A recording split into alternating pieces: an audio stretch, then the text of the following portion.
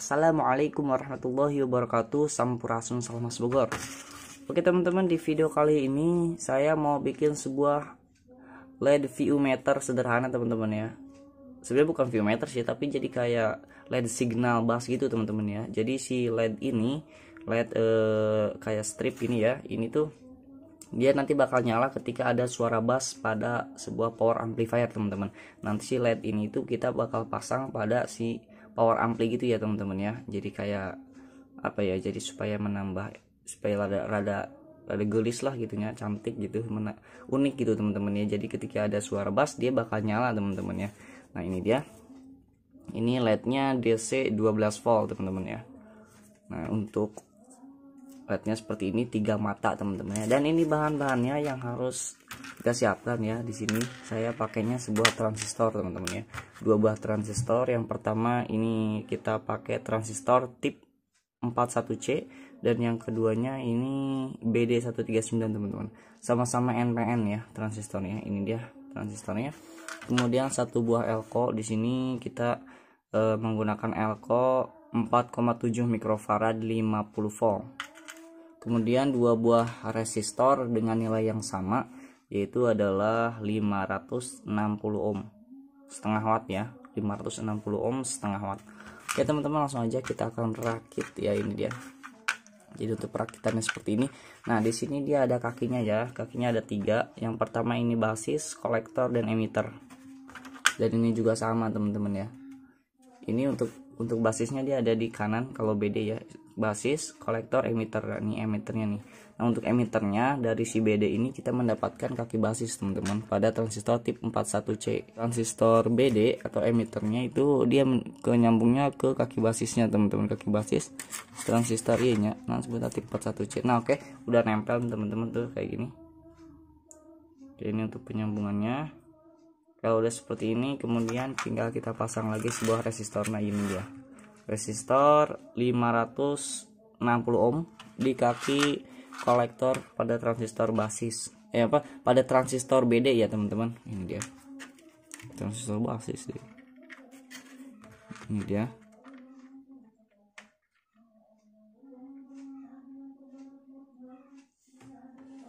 Dia jadinya kayak gini nih teman-teman kayak kayak gini. Nah oke kalau udah seperti ini kita akan pasangkan aja langsung si lampu LED nya ini ya. Ini untuk positifnya teman-teman ya. Yang ada merahnya ini, ini untuk positif kemudian ini untuk negatifnya. Nah untuk negatifnya kita pasangkan di kaki kolektor pada transistor tip 41C oke kalau coba orang zoom coba nah supaya tinggali ini dia ya. Nah ini untuk negatif lampu led nya nah ini mendapatkan kolektor ya teman-teman. Untuk positif LED-nya ini mendapatkan resistor yang tadi yang 560 ohm. 560 ohm ya. Kita akan kasih timah dulu di sini supaya gampil nanti pas nyolder nanti nah ini dia.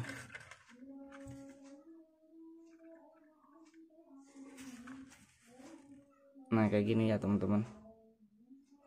Kalau udah kayak gini kemudian ini untuk resistor terakhir ini satu lagi 560 eh, ohm kita pasangnya di kaki emitter. Ini dia di kaki emitter ya. Emitter pada transistor tip 41C nah, ini untuk kaki emitternya kita pasangkan resistor. Oke teman-teman. Oke ini jadi resistor kayak gini. Kemudian yang satunya ini adalah elko teman-teman. Di sini kita pasangkan elko ya. Elko ini berpolaritas. Ini yang ada putihnya atau simbol min. Ini adalah negatif teman-teman ya dan hitam semua ini positifnya. Jadi untuk yang negatifnya kita pasangkan di sini. Di kaki basis pada transistor BD nah ini dia. Nah kayak gini teman-teman. Oke ya. Jadinya pemasangannya simpel banget teman-teman. Kayak gini doang. Jadi untuk uh, pemasangan komponen-komponennya udah ya. Udah beres kayak gini nih. Oke udah kayak gini. Jadi selanjutnya kita pasangkan sebuah ini teman-teman kabel. Bebas kabel apa aja teman-teman ya. Ini saya menggunakan kabel yang ada soketnya kayak gini. Ini supaya enak. Nah ini. Ini nanti untuk si supply-nya power supply-nya atau tegangan sumbernya teman-teman. Karena di sini kita menggunakan tegangan listrik ya untuk bisa mengaktifkan si transistor ini. Jadi untuk positifnya kita pasangkan di sini di resistor 560 ohm yang positif ya kabel ini nih yang ada put yang ada merahnya nah ya kita pasangnya di sini. Kayak kayak gini. Kemudian untuk negatifnya kita pasangkan di kaki emitter yang ini nih. Nah kayak gini teman-teman.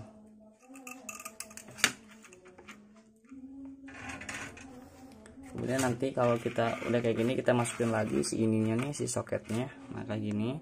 Kalau udah seperti ini nanti ininya kita masukin ke tegangan listrik ya teman-teman. Dan di sini saya mau nyambunginnya ke sebuah trafo teman-teman ya. Trafo amplifier yang ini. Nah di sini kan kita udah buat untuk outputnya 12 volt teman-teman yang ini nih ya. Ini 12 volt.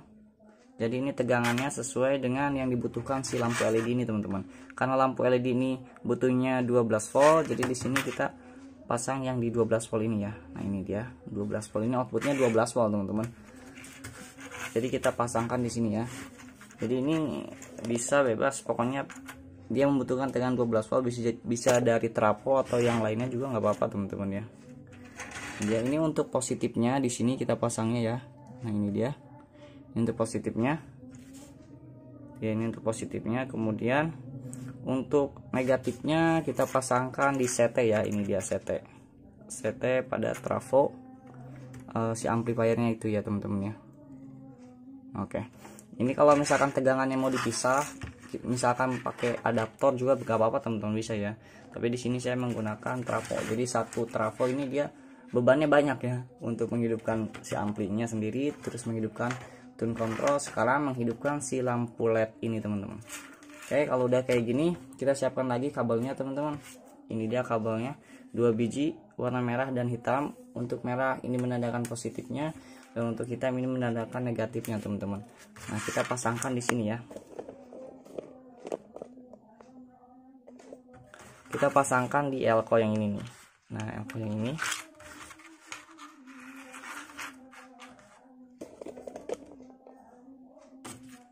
Kita pasangkan untuk kabel yang warna merah ya teman-teman. Ini dia. Oke warna merah ini ya. Kemudian untuk yang negatifnya atau yang warna hitam kabel hitam ini nih.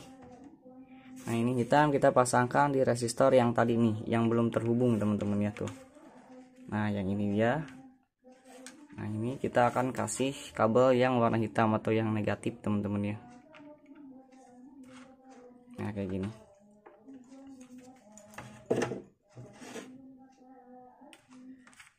Jadi ini kabel dua ya. Kabel dua hitam dan merah ini dia. Nah yang ini nanti kita sambungkan ke output amplifier teman-teman ya. Output amplifiernya. Nah ini dia. Jadi kita akan e, balik si amplifiernya ini dia kita akan seperti ini. Nah.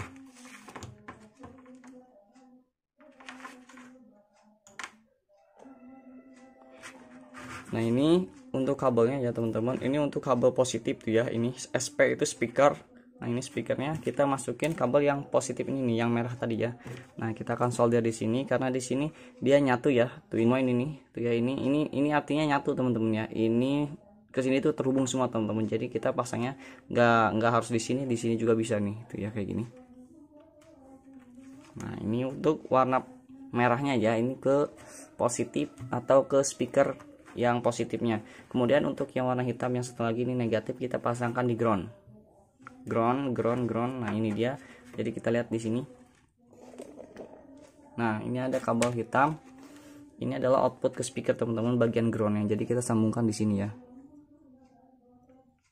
nah di sini. Oke teman-teman jadi penyambungannya udah beres. Dan sekarang kita akan tes ya. Coba kita akan tes bagaimana nanti hasilnya nih ketika ada uh, suara bass. Kayak teman-teman ya kayak gini tuh ya. Ini kabelnya ke sini. Kayak gini teman-teman nanti bisa. Bisa kalian coba nanti kalau misalkan kalian ingin mencobanya teman-teman. Oke. Kita tes ya teman-teman ya. Ini untuk volumenya ya. Ini untuk volume dan ini untuk bassnya. Ini volume ini untuk bass. Oke ini di sini di sini saya menggunakan tune control uh, 2 TR ya mono dengan dengan middle dan ini the nah, cek aja ya teman-teman. Oke ya. Oke kita akan tes. Ini untuk volumenya ya.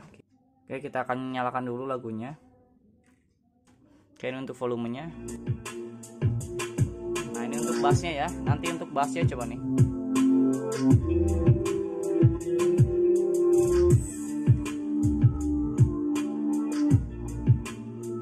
Jadi dia adanya ketika ada suara bass ya teman-teman. Dia bakal nyala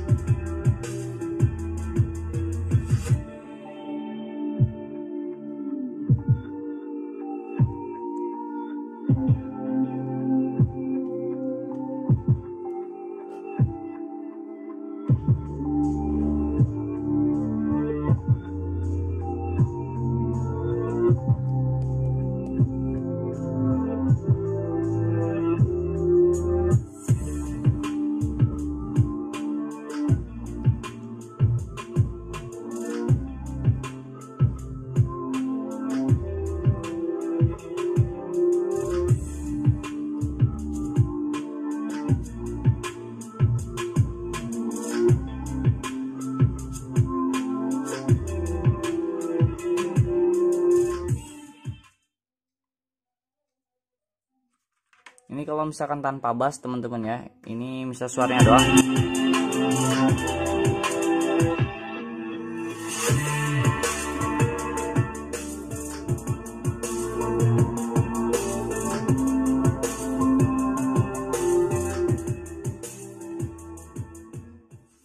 Jadi untuk volumenya doang dia bakal tetap nyala teman-teman. Cuman tidak terang ketika ada bass gitu ya teman-teman ya. Ini cuman volume doang.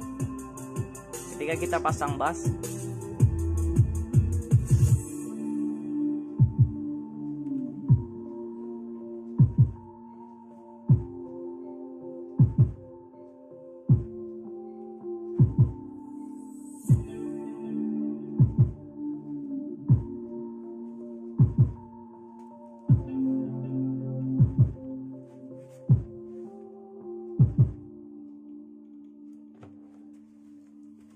kayak gitu ya teman-teman.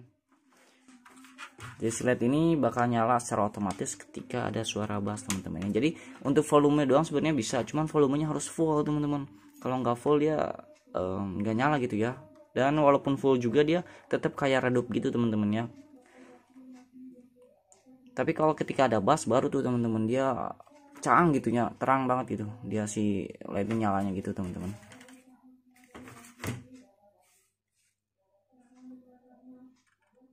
jadi emang ini tuh bener-bener didesainnya khusus uh, ada suara bass ya teman-teman ya. Ketika ada uh, suara bass atau nada low itu dia nanti si lednya ini bakal nyala gitu ya teman-teman ya. Oke coba kita tes lagi. Nah ini ini udah pakai bass ya. Ini untuk ini coba nih kita pakai volume doang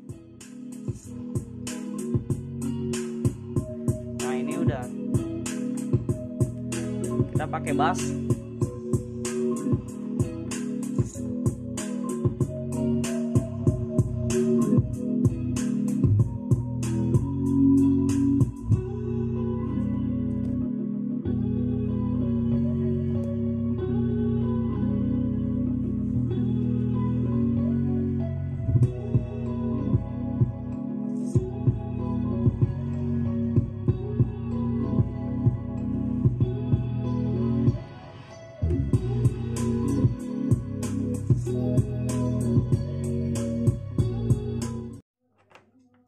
volumenya teman-teman ya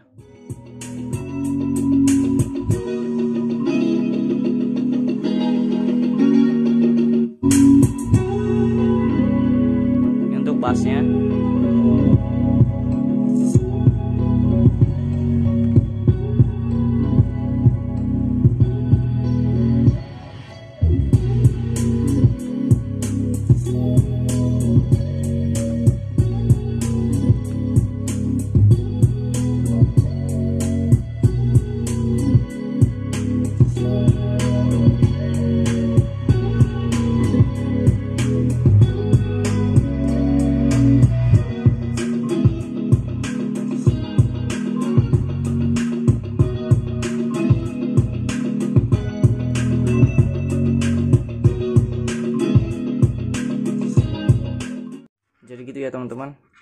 Uh, cara pembuatannya dan hasilnya kayak gitulah teman-teman ya. Mungkin buat teman-teman yang ingin mencobanya yang ingin mempraktekkan di power ampli kalian silahkan ya teman-teman oke? Okay? nuhun kasadayana syukran jazakumullah khairan kasir. Wassalamualaikum warahmatullahi wabarakatuh